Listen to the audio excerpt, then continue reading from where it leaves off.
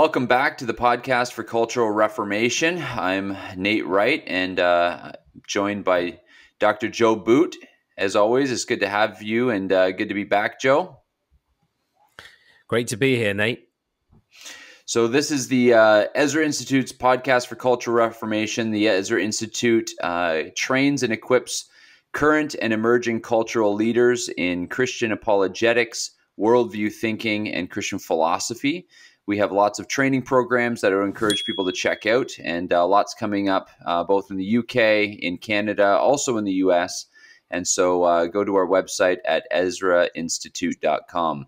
Uh, we're coming out of the Easter season, uh, Easter weekend, uh, and uh, Joe got to celebrate across the pond from me, but we both were just reminiscing about uh, wonderful Easter weekends that we both had. So uh, we thought we'd take this this podcast as an opportunity to just talk about the resurrection, talk about the crucifixion, talk about all that Easter means for us, the implications of the resurrection for the Christian life, for culture, for apologetics. so that's sort of what we're doing today. But why don't we start, Joe? Um, because one of the things uh, that we talked about, one of the reasons uh, this topic was on your mind is because last week, leading into Easter, you had some opportunity to do some ministry in Aylesbury and talk about the resurrection. So, why don't you talk a little bit about what you did in Aylesbury and uh, some of the conversations that you were able to have leading into Easter? Yeah, thanks, Nate. It was an interesting uh, opportunity, actually. Uh, an unusual one in some respects because it's not often that you get to speak to over 1,300 high school students uh, in in a single day in state schools, like in government schools, and wow. um, and uh, that that was the uh, that was the opportunity um, recently for me, and uh, it's interesting for another reason too, which is the the degree of biblical illiteracy now in the younger generation is such that very often when you go into these environments, I mean, the the the group um, that were hosting me called Youth for Christ, uh, which is a sort of an outreach evangelistic organization in the UK, um, had found that this particular part of the country, this particular town, was one of the most unevangelized towns in uh, the entire country. Uh, in fact, um, I think it was well into the the ninety five percent ish of young people in the in the town had never even heard the gospel. So you've got wow. uh, this sort of incredible opportunity to introduce um, introduce people to it. So I did some I did some speaking to uh, high schoolers in the government schools. I did a debate on the resurrection. Uh, I and uh, I also spoke to a Socratic Society of students doing their um, th- their exams just before heading off to university. Uh, and then the the day finished with me doing a, a sort of special outreach event in in a, in a church in the town, and that's going to be on Premier Christian Radio. Uh, it was an interview sort of setting and style for that for that event. Um, and yeah, it's built around the whole the whole Easter theme. And as you say, you know, we've just come out of that that, that probably the well, more than probably, I think certainly Easter is even beyond Christmas the most important uh, date in the Christian calendar. And you know, you've got Good Friday, uh, the, the, the quiet day of of Saturday of, of of waiting, Easter Sunday, and then oftentimes, of course, you know these are bookended for many people by by holidays, um, yeah. and there's there's a lot of time to to reflect. And so we thought for today, why not? Let's talk a bit about the significance of the resurrection and um, its importance. One of the first things I said to the students was uh, that the these the calendar, the you know the Christian calendar that to to to, to a large extent still is is what we follow in the West. I mean, I know there's been all kinds of efforts to kind of uh, water it down to try and throw in. I mean, there's been lots of celebrations of you know controversy in London in the UK recently because you know lights for Ramadan were up, but there was nothing about Easter in certain areas, and councils were suddenly scrambling, as this was pointed out, to put up some kind of Easter. Um, you know, uh, stand or whatever it is, just so that uh, uh you know they're looking like they're being even-handed. But the reality is, we're following a Christian calendar. It's AD, it's BC some of these basics you have to remind people of today that that the the Christian calendar punctuates our year with meaning. And that's what calendars do. Birthdays, uh, we punctuate the year each year with birthdays in our family. So we've got there's a, there's a cycle in all of our years to a degree, especially if we've got children and extended family. There's those kinds of uh, calendar of events. The state, of course, modern governments in the West, they have invented all kinds of additional days um, to try and inject a kind of humanistic and secular meaning as well. So you've got your, you know, um, your Valentine's Day. Not that they're all bad, uh, not being a killjoy. Um, you know, Valentine's Day and Family Day, as though people need reminding, you know, to focus on your family periodically. Um, the but the state, you know, it thinks that it has to tell people what to do in these things uh, in this day and age. Um, and then you've got your um, uh, special, you know, Canada Dominion Day, or you've got your uh, in in the United States Independence Day. Um, there's Victoria Day. There are these various days, and then of course we've got the really sort of progressive um, secular cultic religious celebrations of pride and all of that, which um, are, are, an attempt to turn the calendar from a Christian calendar into a pagan cultic calendar.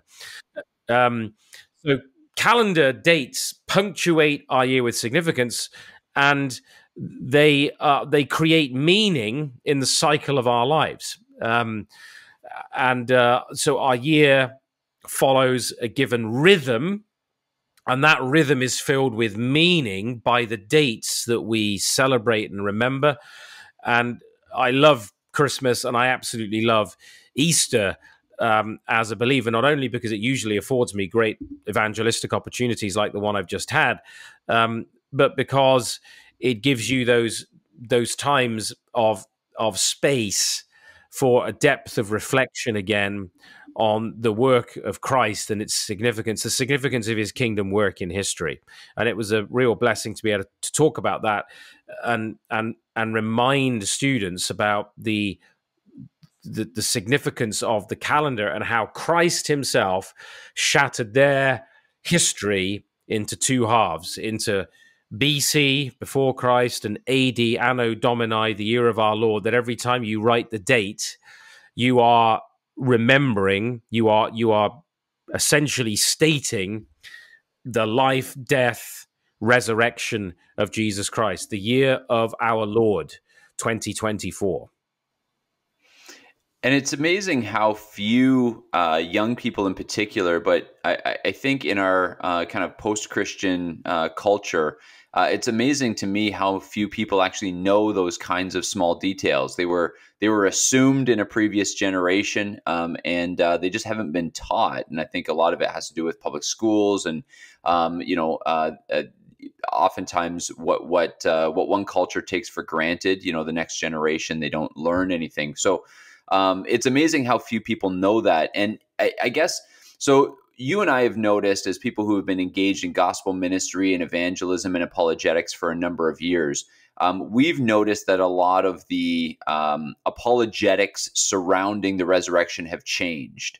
Um, but before we get to that, let's just kind of talk about some of the traditional, right? It used to be that an, a Christian apologist around Easter would get up and the questions would be surrounding, well, you know, what didn't didn't the disciples just steal the body of Jesus and and these kinds of just apologetic answers to how certain can we be historically that the tomb was empty and that Jesus rose from the dead and there are good apologetic you know uh, answers to some of those questions. So why don't we start with sort of traditional apologetics concerning the re resurrection um, and talk about the, the good reason we have to believe that uh, that history is split by a true historical event.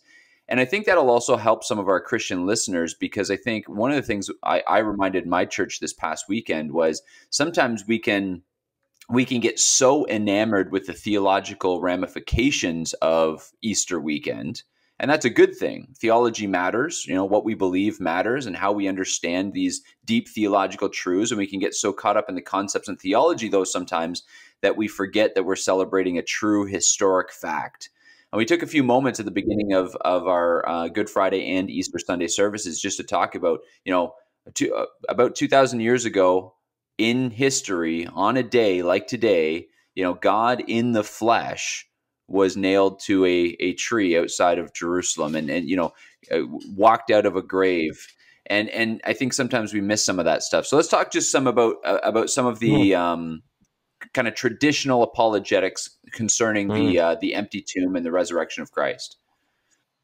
Well, some of the historical touch points as we sort of uh, wander into that are, uh, as you say, significant because in a in some respects life has become increasingly sort of ahistorical, right? With the with, with this sort of cultural amnesia and with the instant sort of um, character of our culture now, and very often a lack of historical awareness, uh, people live disconnected from the past uh, for the most part. And as you said, Nate, that that that is an indictment on our education system for the most part. Um, but there is a real disconnect, and um, one of the things I, I, talked about was the fact that um, the one of the charges that, is, that, that are raised against Christianity in general before you can even open your mouth about the resurrection is that it's you know sort of Western religion and you know it's uh, it's a colonial Western religion therefore we're not going to listen. Um, and so one of the things I did in terms of this historical touch point was was was to explain to the students that Christianity came to Britain uh, first of all, probably in the fourth century, around the fourth century, with the Romans. And uh, uh, when it arrived, our ancestors were still drinking the blood of the dead. I mean, they were pagans sacrificing their children uh, to to to pagan deities. And in about 550, 597, thereabouts, uh, Augustine of Canterbury brought about 40 missionaries uh, who would have been monks to Britain to begin to evangelize in a, an, an extensive way these pagans. And uh, uh, I, I, I talked about the fact that you know it had the gospel had been in China and India and North Africa uh, long before it reached us um, in Britain, and of course that's our in Canada. We've got a shared history. The history of of, of Britain um, is the, is the shared history of of Canada in many respects, um, and so. Uh, 597 Anselm arrives and he starts talking about the gospel, about the resurrection of Christ, about the death of Christ, about its significance and its meaning. And gradually, the gospel begins to spread and uh, and then of course Alfred the Great and his um, missionary activities amongst the various invaders, especially the the Vikings. Uh, what we know is that we call the Vikings today, um, and uh, the gradual transformation of England. And I said to them, "This is why when you look around this town and every town and village across this land, you see these spires." uh, in every village and in every town because these uh, places of worship, the church, were the center of meaning for those communities. That's why they're the most expensive buildings, the most prominent buildings, because they are pointing us to the center of meaning, which is Jesus Christ, his death and his resurrection. And that is what filled our lives with meaning. And that's reflected then in these buildings. Then I talked about the coronation, the recent coronation of King Charles III, our head of state in Canada and the and uh, in the United Kingdom. And why he swore an oath to uphold the gospel, uh, why he gave you know his Easter message, um, uh, and and referred to the Lord Jesus Christ.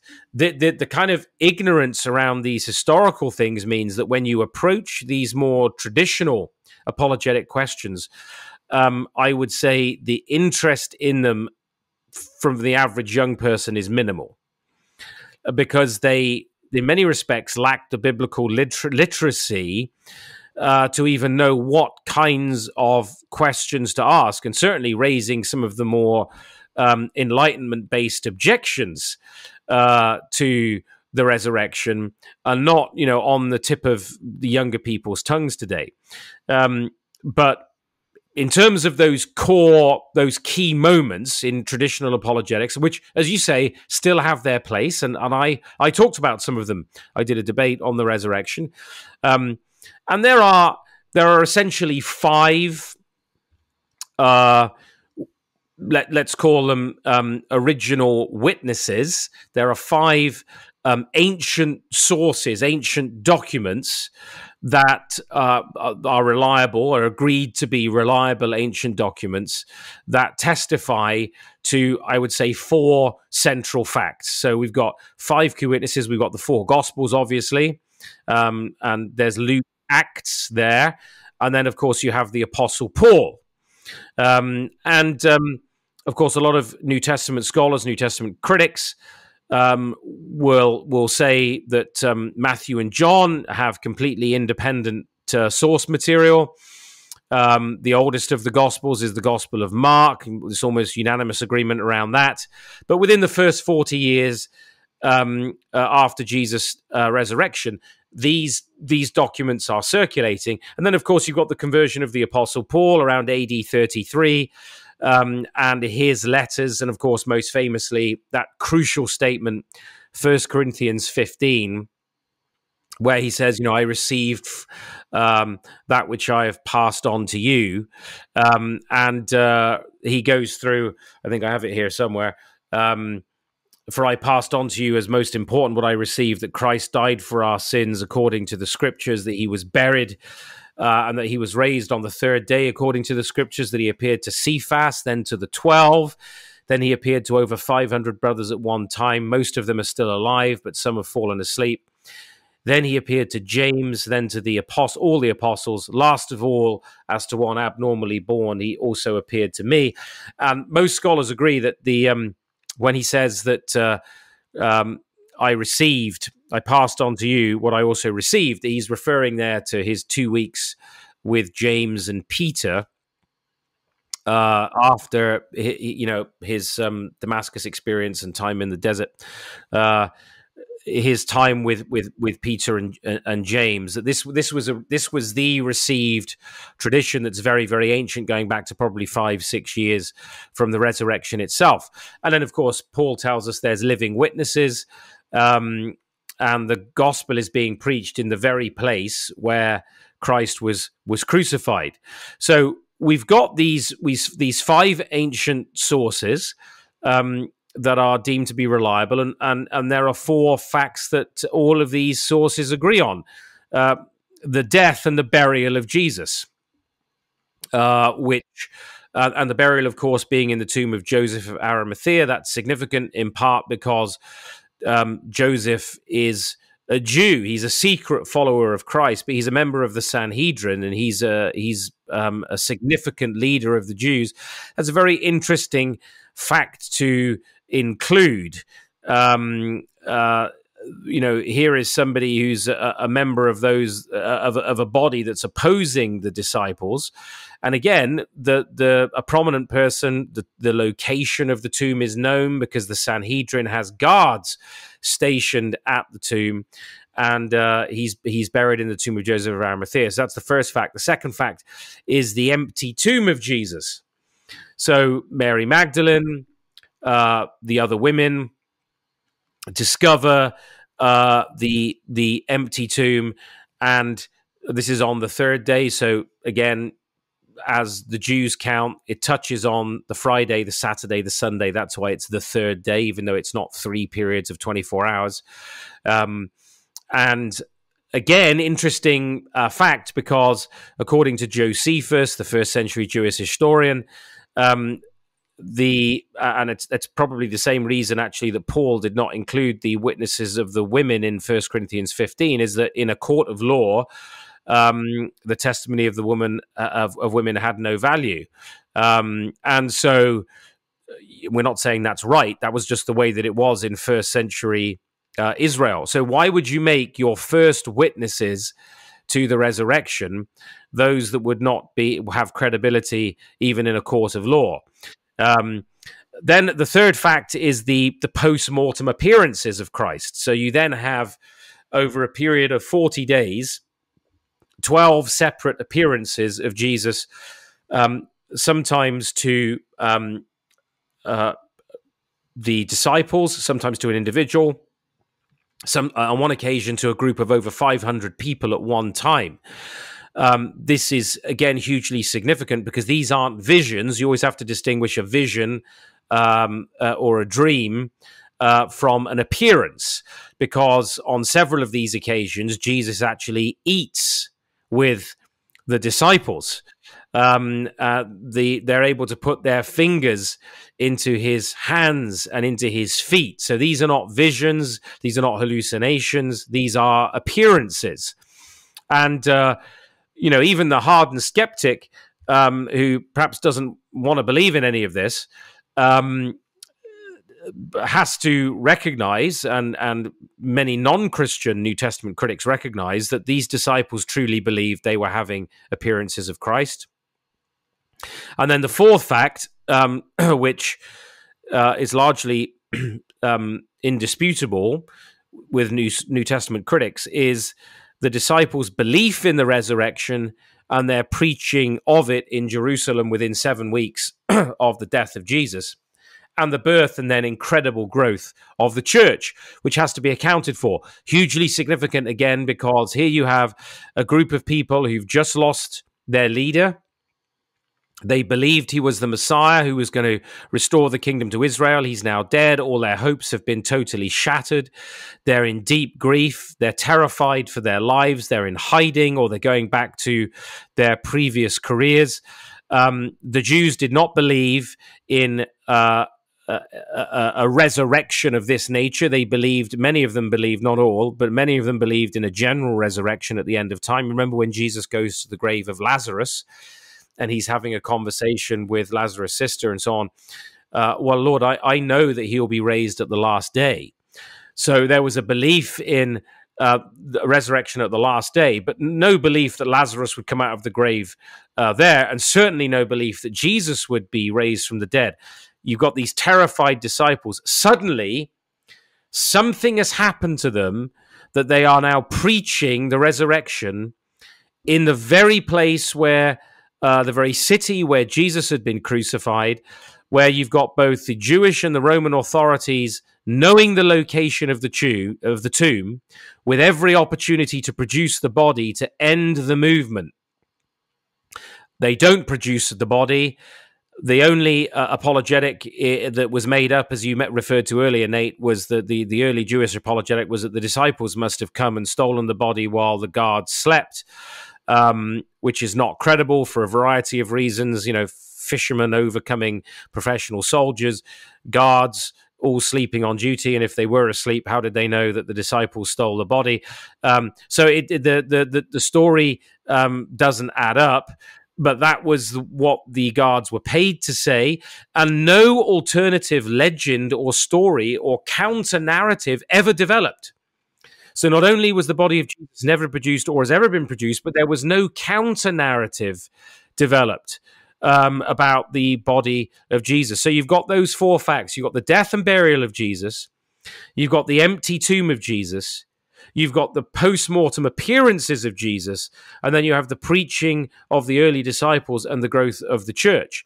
Now, that, I, interestingly, um, Nate, that um, evidence, let's call them those data points, those, those facts, um, are not actually that controversial. You would expect them to be much more controversial than they are with modern New Testament critics, but they're not actually that controversial.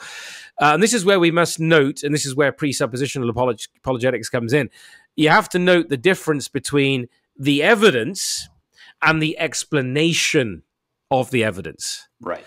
Um, it's you can look at all those four facts, but the uh, those data points. But the question is what best accounts for the empty tomb, the post-mortem appearances, and the preaching and growth of uh, uh, uh of the church. Yeah, and it's interesting. So, uh, um, and I think traditionally that's what a lot of debates. I know you've done a number of debates uh, throughout your life on the resurrection, and uh, and this is likely even in your with some of your history before founding the institute with apologetics. These would have been some of the kinds of questions and apologetics that we would have talked about, right? We would have talked about the the fact that the uh, the first w- uh, witnesses uh, were women, and and why would you write the story that way if you're making something up? And we would we would have those kinds of conversations Um, but uh, I, I noted this when I was preaching on Sunday, as I said, you know, interestingly, one of the most interesting passages of scripture in the whole resurrection narrative for me in any of the gospel accounts is in in Matthew 28 I think it's verse 17 where it says you know the disciples came to him on the mountain in Galilee. This is right before he gives the great commission and and tells them that all authority has been given to him. And it says yeah they that they came and they worshiped him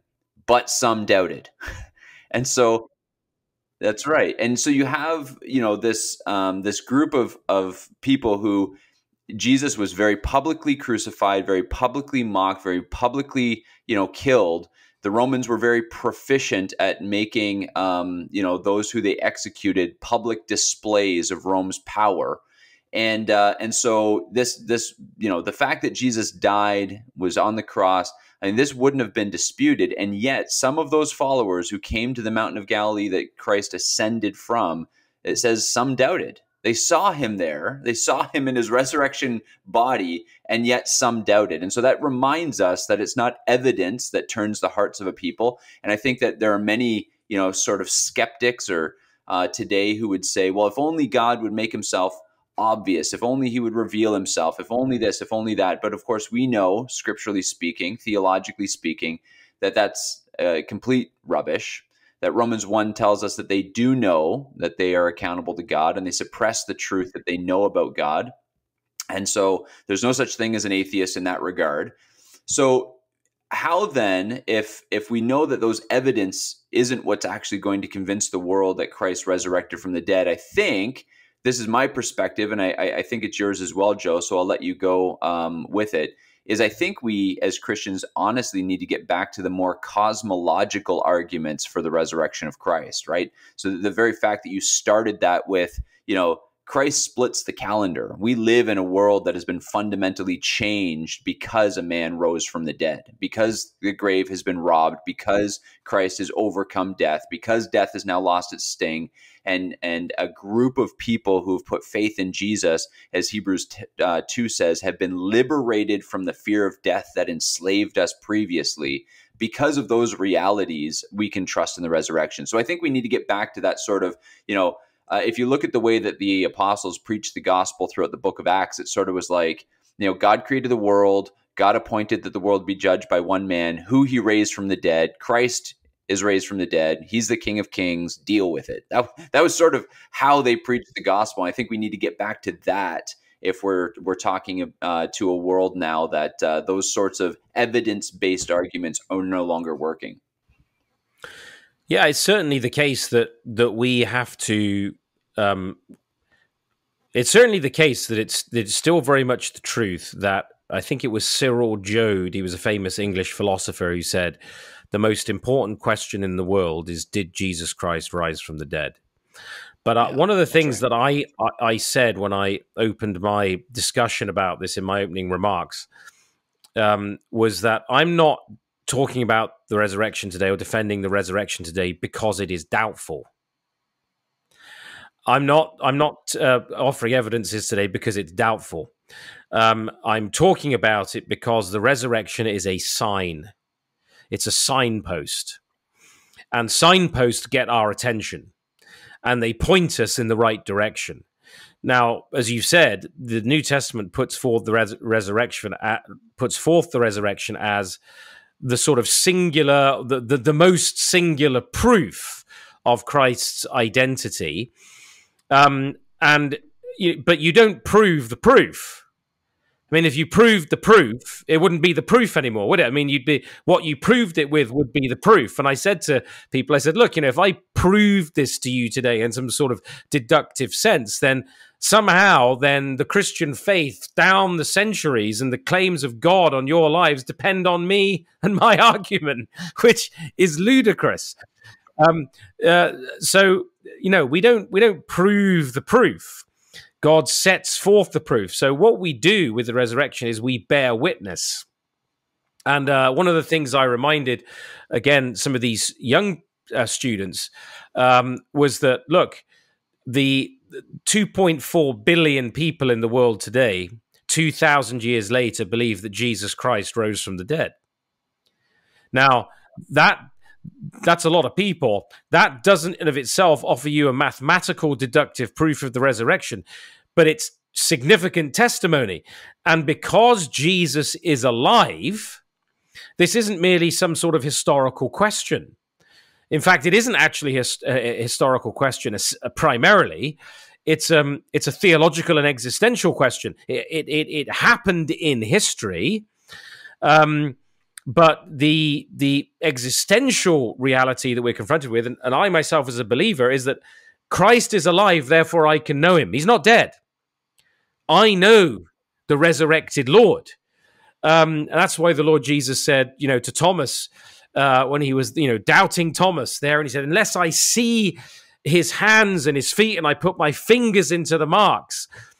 Um, and uh, Jesus appears uh, with the disciples there, as you know, and he says, "My Lord and my God." Uh, but Jesus then says, "Yeah, but blessed are those who have not seen and yet believe." And you know, um, the, you know, it was Thomas was right there, and he and he wanted this, you know, the immediacy of all of this physical evidence. But Jesus, yep, said yes, but actually, blessed are those who will, who who have not seen, but nonetheless believe, and that's all of us after the Apostle Paul, um, who were not uh, direct witnesses of the resurrected Lord. Um, like the early, many of the early disciples and apostles. And it's significant, and I think you were referring to Acts 17 there in your uh, last comment uh, that God has given proof of this. Paul says to the Greek philosophers. Interestingly, he says it to the Greeks, Epicurean and Stoic philosophers. Um, God's given proof of this by raising him from the dead. Paul does then not go on. There's no evidence that he goes on then to give a detailed list of historical evidences to argue like a sort of evidential classical apologist uh, in terms of you know um, the the the evidences for the empty tomb, um, the post mortem appearances. I mean, these are significant. I would say those kinds of arguments were were helpful in a Christianized culture. Um, where people had familiarity with the New Testament text, uh, where people were much more literate about history and, and biblical history in particular. Um, but as you say, increasingly now that literacy is gone. Um, but the resurrection remains a signpost. It's a sign, and signs get our attention, and they point us to the one who is uh, is alive, and that gives us then opportunity ourselves to bear witness to the truth of the resurrection. What I always try and do is when I ever when when I talk about, let's say, I refer to uh, Josephus, for example, or I refer to the ossuaries, the burial urns of the uh, the the uh, the Christians in the early decades. So actually, we have we found burial urns referring to the resurrection within 20 years of Jesus' death.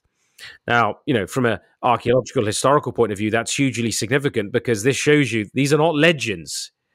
You know, you, legends build up over a long period of time, um, but th- th- th- these are people are already being buried um, uh, with reference to the resurrection of Jesus Christ in a very, very short period of time. So, look, the issue is not about gosh, there's a paucity of evidence. In fact, the the, the you know the New Testament text itself. Um, which has been treated like no other ancient text with the highest degree of skepticism and cynicism. We don't treat any other ancient text uh, anything like that. So we have a well established uh, New Testament text. We have these witnesses. That's not the problem. The the issue is unbelief. And, and, and you may be interested in this, Nate. One of the things I said when I opened up the debate, apart from saying I'm not debating this because it's doubtful, I am a Christian, and I and I believe with all my heart that Jesus Christ rose from the dead. But what I did say was that the resurrection of Jesus is not an isolated event. It's not just like a fact over here that's of some passing historical interest. I said it the the resurrection of Christ only makes sense and is actually only coherent and even plausible in a world in which God exists and acts in history.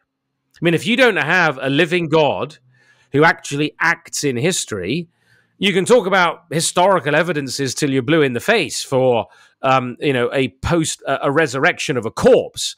But even if a corpse came back from the dead that doesn't that wouldn't actually prove anything. Could be signed off as some kind of resuscitation or um, maybe there was some uh, you know ancient technology like modern cryogenics we didn't know about or you know this is an uncertain universe it's an unpredictable universe uh, freak things do happen uh, that we can't fully account for. Any number of things could be said no the resurrection of christ is important because it's part of a coherent world and life view. And the resurrection makes no more sense to the unbeliever who d- rejects God and his activity in history than having Bugs Bunny show up in a Marvel movie. It just it it doesn't fit. Right? Suddenly Bugs Bunny comes in and he's helping Iron Man. Uh, you know, it there's a there's there's a clash. The, the, the world views don't mesh, and this is the problem when we're talking about the resurrection. And this is where the the worldview and the presuppositional element comes in. Is that you know, and actually Kierkegaard, probably the first true presuppositionalist, um, talked about this in the 19th century. Um, that uh, you know, you can't make the resurrection of Jesus Christ plausible you can't make the incarnation of Jesus Christ plausible to an unbelieving heart. That's the very point of the gospel is that it's implausible to those who reject God, who hold down the truth in unrighteousness. They will accept any explanation for the resurrection other than that God raised Jesus from the dead. That's why Paul said to Agrippa, Why should it seem incredible to you, O king, that God should raise the dead. Because the claim of Easter is not that um, Jesus naturally rose from the dead, that the man came out of his grave. It is that God raised Jesus from the dead. That's the claim. And that is not plausible to the unbeliever who cannot receive the, th- the things of the Spirit of God. So, what we do is we bear testimony, we bear witness through our arguments, through our testimony. And the Holy Spirit uses that to get hold of people's hearts. That's the that's the goal of it.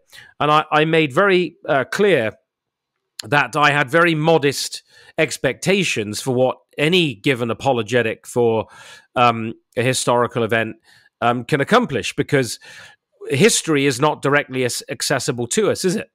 I mean, um, I I, uh, I I couldn't I can't prove that Caesar crossed the Rubicon.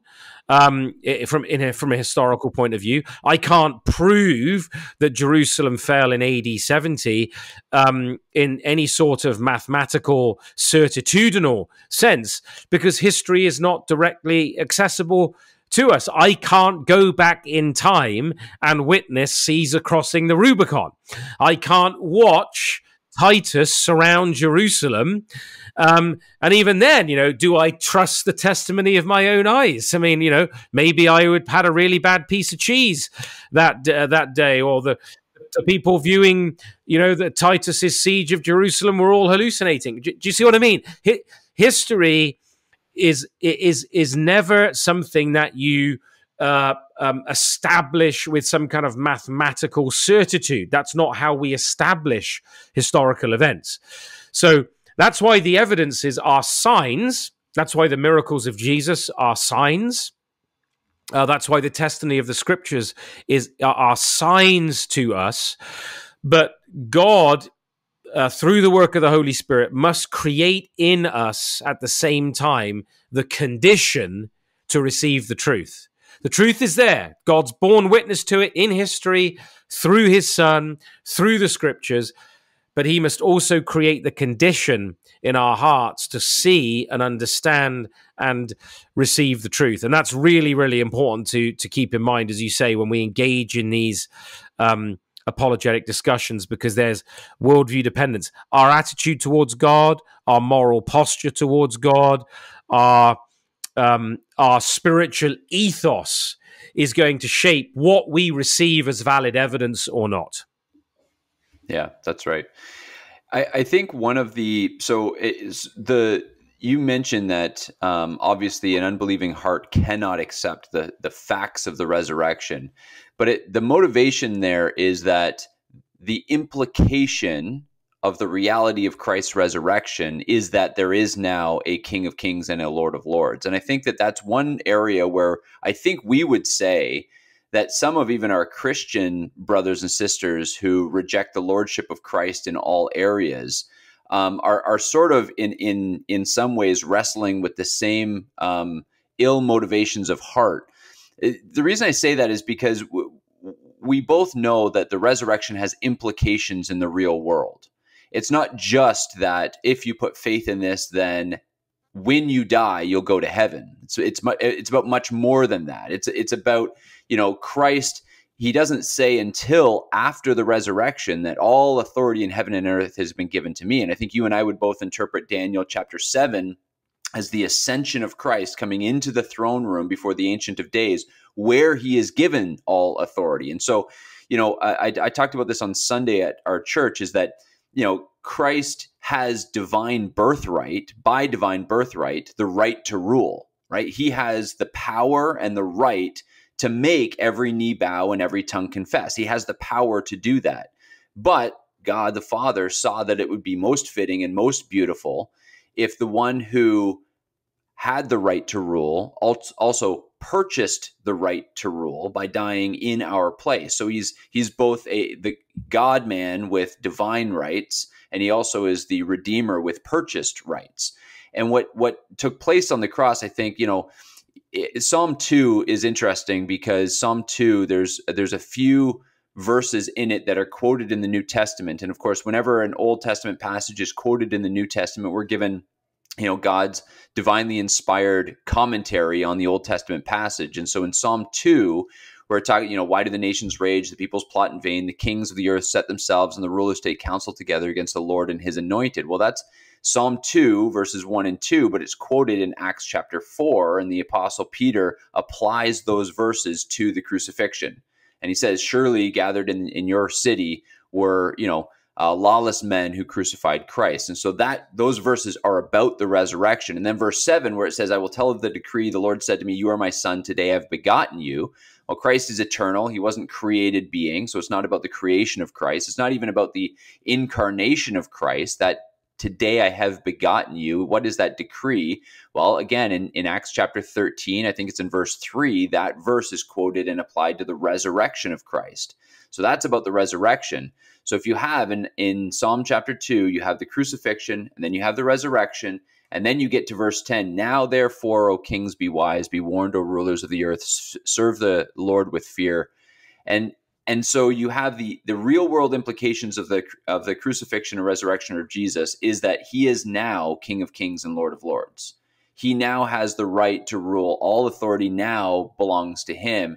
And I think that this is where even some Christians get the implications of the resurrection wrong because they would deny that Christ has the right to rule over the public sphere, right? Over politics, over culture, over the academies, over everything. And this is really kind of gets to the heart of what Ezra is all about. So why don't you kind of uh, close off our, our conversation on the resurrection by talking about that implication that Christ is King of Kings and and Lord of Lords because of the incarnation. Mm-hmm.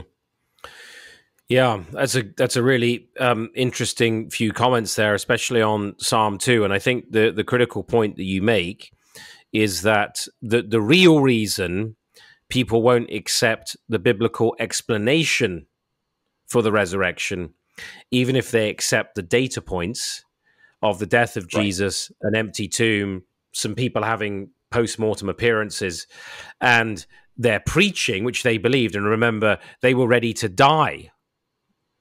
James, right. uh, the Apostle James, remember, who was the brother of Jesus, who didn't himself believe until after the resurrection, um, is martyred in AD 60, according to, to, to Josephus. He's, he's killed. Now, think about that for a moment. What would it take for any of us to believe that our brother, our brother, yeah. is the Lord of glory? Yeah. That he was raised right, from yeah. the dead and is the Lord of glory to be worshipped and served. to the point where not only do you become the leader of the church in Jerusalem, but you are prepared to be martyred for your faith in your brother.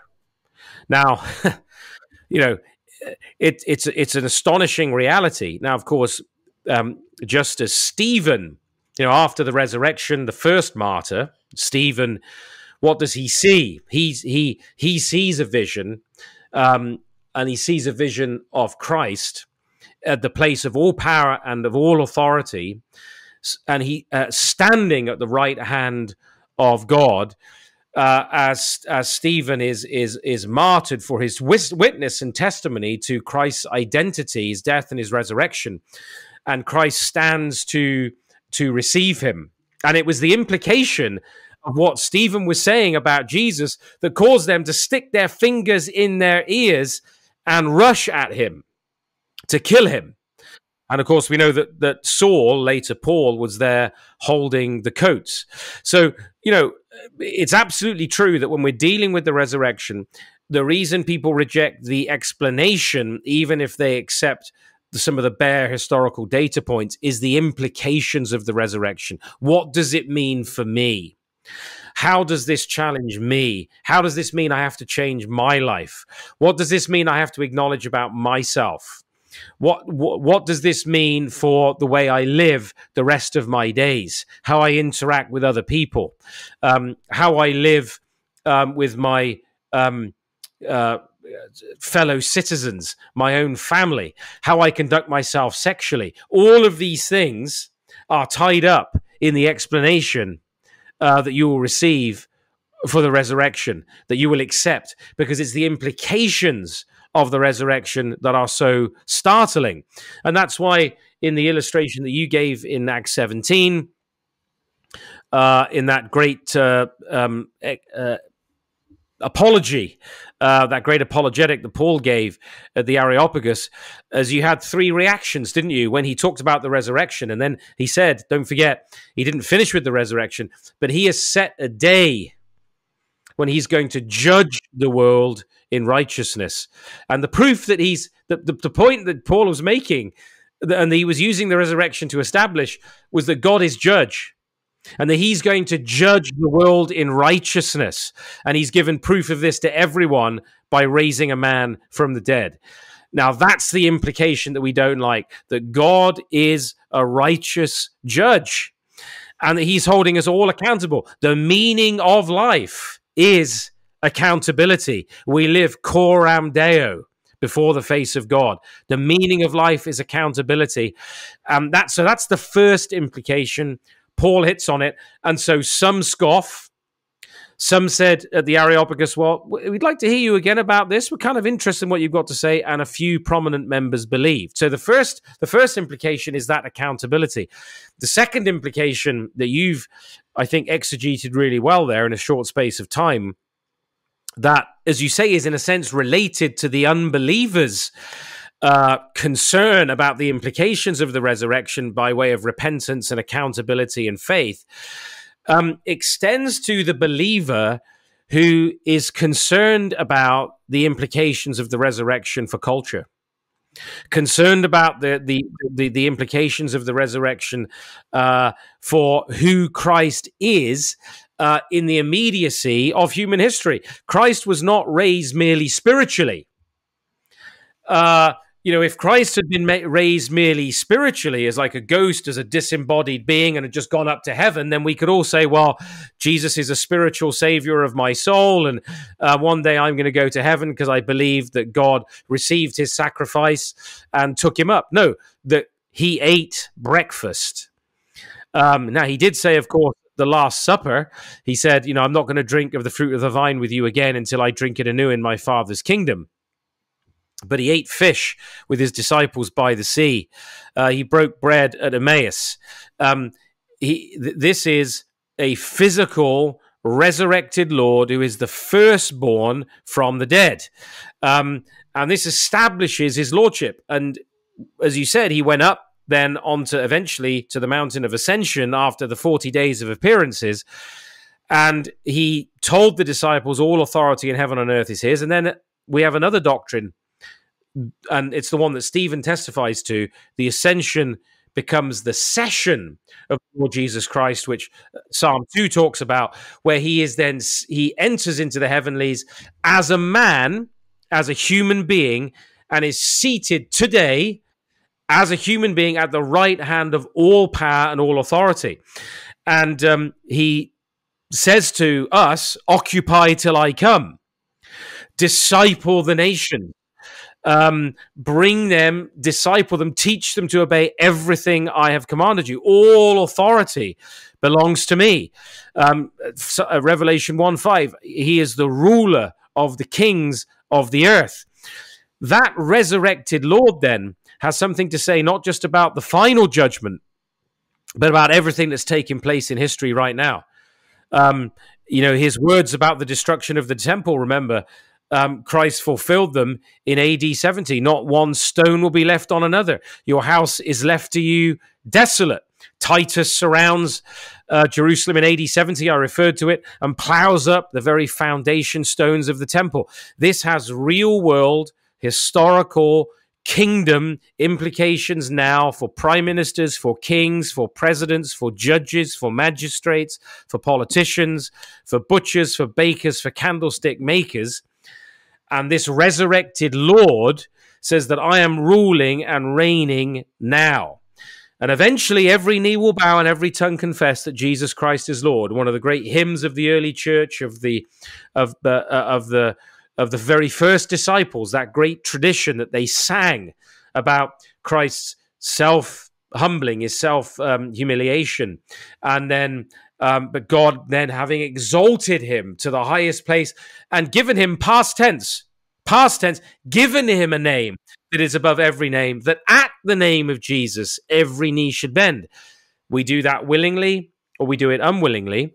And I think you're right that failure to recognize Anno Domini, this is the year of our Lord. He shattered history into two halves. He declares his lordship and his kingship now, and the implications are for every single area of life. There are many Christians, even, who accept the data that Christ is raised. They accept the data, the historical data that he's ascended and that he's at the right hand of God, but they're not sure about the full explanation. They're not sure that they want to accept that he is ruling and reigning now in history and he's bringing all things into subjection, that he must reign until he has put all his enemies under his feet. And the last enemy to be defeated is death.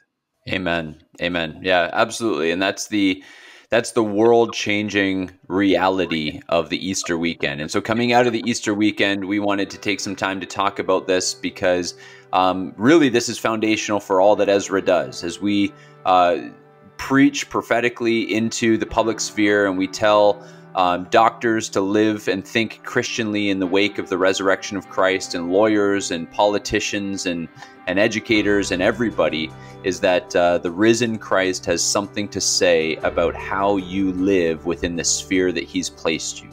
And uh, and if you uh, if you want to check out more of that, you can uh, go to EzraPress.com and you can uh, get Ruler of Kings. Joe has uh, written a whole book on this topic, and uh, and you can get that there. But uh, we'll wrap up our our Easter resurrection podcast there.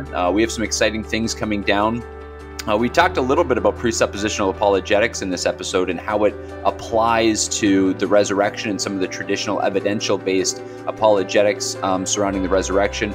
And that's a bit of a little teaser about uh, maybe an upcoming series that we're going to be doing, talking about how to engage, how to think presuppositionally when it comes to objections to the Christian faith in your own personal witness and your own defense of the faith. So make sure you continue to check us out and uh, and keep tuning in because uh, we have a lot more to say on that subject. So until next time, we want to remind you that from Him and through Him and to Him are all things. We'll see you again next week.